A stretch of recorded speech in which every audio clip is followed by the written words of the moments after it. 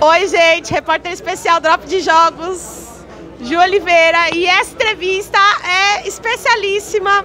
Foram pessoas que incentivaram os meus alunos a querer desenvolver games, mas em especial a cuidar da saúde mental, a cuidar da sua rede de apoio. Então vou deixar aqui com eles. Caraca, que responsabilidade. Olá, tudo bem?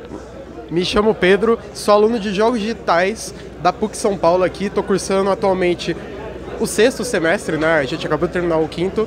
E, bem, a gente é desenvolvedor aí, tá desenvolvendo alguns jogos e tal. Nosso mais recente é o Mestres da Pangada, que é uma mistura de Pong, jogos de luta e air hockey e futebol também, que se passa no Brasil. Tá disponível na Play Store já, caso queiram baixar.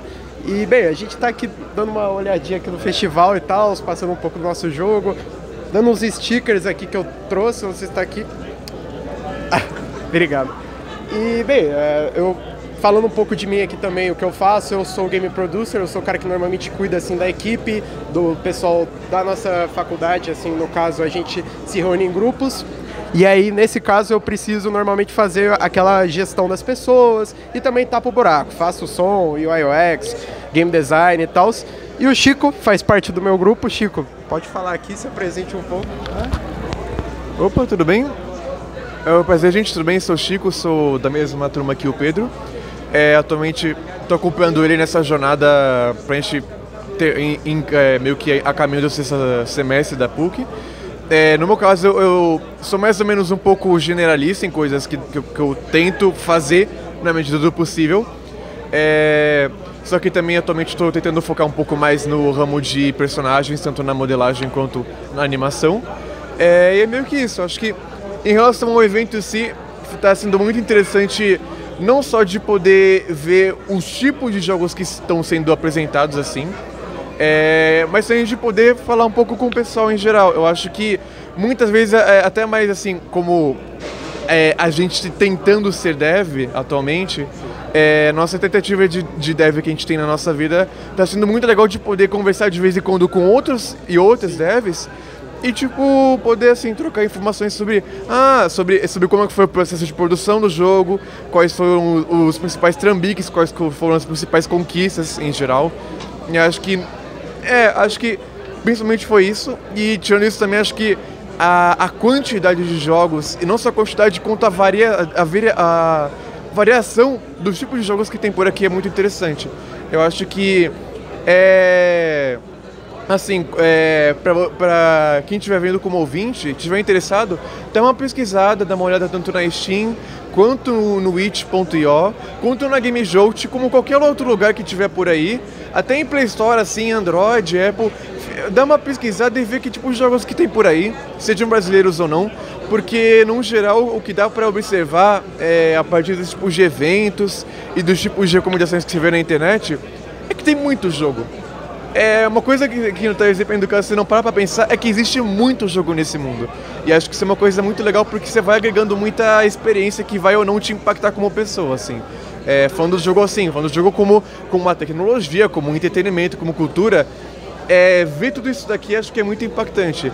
E no geral acho que é isso. É, é acho que todo apoio a todo mundo que está se esforçando para querer apresentar seus projetos e vamos seguindo em frente. Parabéns. Opa, tudo bom? É, eu sou o João Victor. É, atualmente eu não estudo junto com eles, nem faço parte com do, do jogo deles também. Eu faço. Eu tô no, no primeiro indo pro segundo semestre na AMB Murumbi. Estou aprendendo esse mundo louco, essa indústria louca que é o desenvolvimento de jogos no Brasil. Aprendendo muito.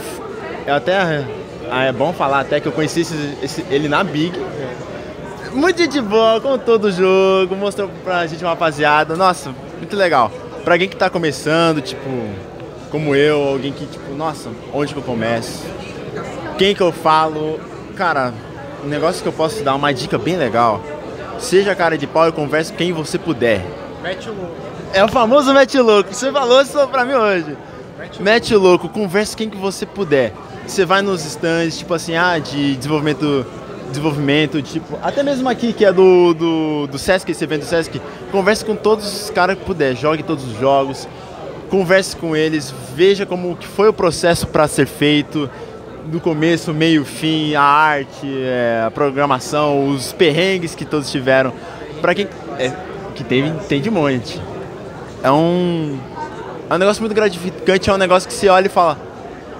Pra quem tá começando, tipo, do nada, dropou. Nossa. É algo que você dá uma esperança no olho. Brilha o olho, porque tipo, eu consigo chegar nesse ponto. Dá pra chegar. Tem um. Tem um futuro ali. Então, pra mim, essa, a semana passada e esse evento aqui sendo maravilhosos porque é muita gente, é muito jogo que dá uma esperança. Ah, eu também tenho um jogo que eu fiz no primeiro semestre, chama Kaia. Tá lá no it.io, dá uma olhada lá também. E é isso, obrigado. Valeu, gente, é nóis.